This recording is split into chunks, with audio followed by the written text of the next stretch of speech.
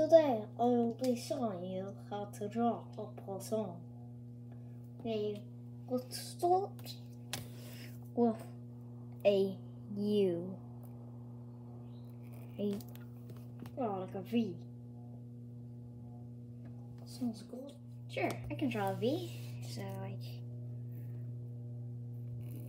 like that kind of V. Okay.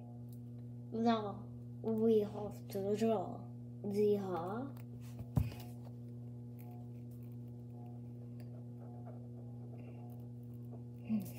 Wolf walks.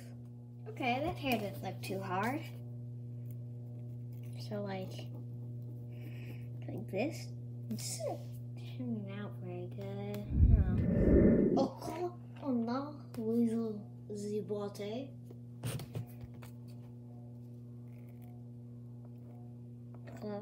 Boy, boy. Okay, I can do a body. That was just like a stickman body. You know, I've gotten really good at this.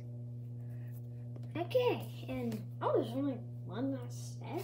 I bet you it's. Wait, no, there's two more steps. Okay. No, the floss. Smiley. Okay.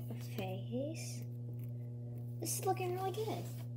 Yeah, let's see. No, add some details. Okay, and then just add some details. Okay, and then just add some. Wait, what? Wait.